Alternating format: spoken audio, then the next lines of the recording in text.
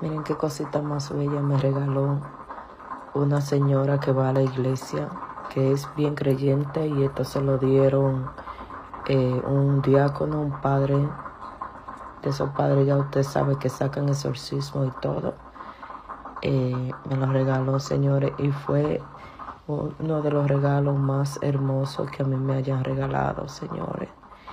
Esta es las... Eh, la de San Benito. Mire que San Benito es bien poderoso y eh, cuida y protege a uno. Esto ha sido algo más hermoso que a mí me ha regalado en toda mi vida que yo tengo. Y tengo 48 años, señores. Esto no me lo quito yo solo para bañarme, Jesús.